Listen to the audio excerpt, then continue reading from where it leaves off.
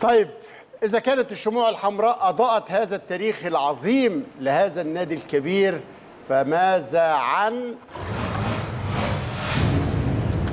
مجلتنا؟ مجلتنا صدرت مجلة الأهلي الأسبوع اللي فات العدد الجديد فمن أربعين سنة. ماذا كان في مجلة الأهلي خاصة أنه كان واحد من فرسانها وقتها المهندس عادل القيعي كان له حوار مهم جدا. مش هطول عليكم نشوف هذا التقرير الذي يتجول في عدد مجلة الأهلي منذ أربعين عاما بالضبط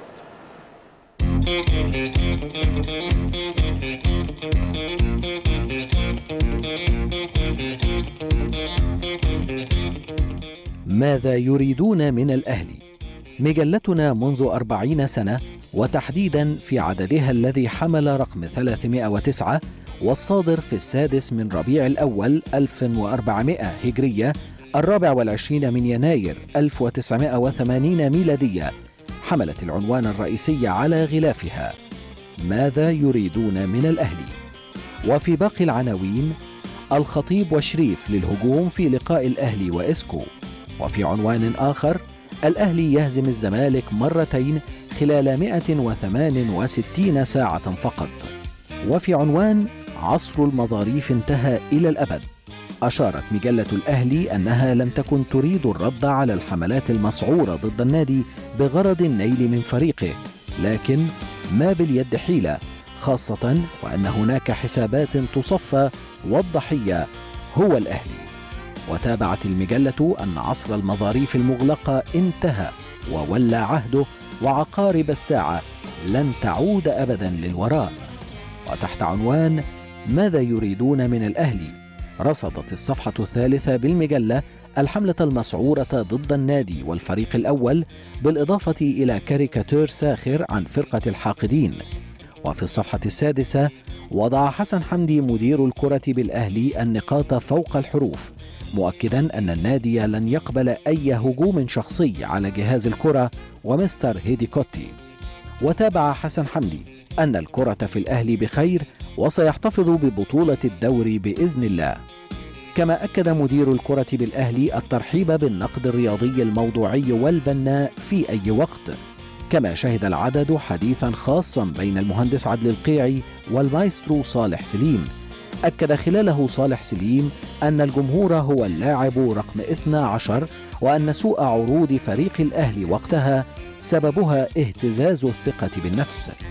وتطرق الراحل صالح سليم للحديث عن أعمار لاعبين نادي الأهلي والحديث عن اعتزال بعضهم ورأيه في النجوم الكبار وأهدافهم الضائعة. وفي الصفحة السابعة ركزت المجلة على تواجد محمود الخطيب نجم الأهلي كسؤال في امتحانات كلية الإعلام. كما تناولت قصة الهدف التاسع والسبعين للخطيب والذي سجله في مرمى المنصورة ليتربع على قائمة هدافي الأهلي في تاريخ الدوري الممتاز. وفي الصفحة ذاتها دافع عبد العزيز عبد الشافي زيزو عن نفسه مؤكدا أنه لن يعود إلا وهو جاهز تماما مؤكدا أن لقاء الزمالك الثاني سيحسم الدوري.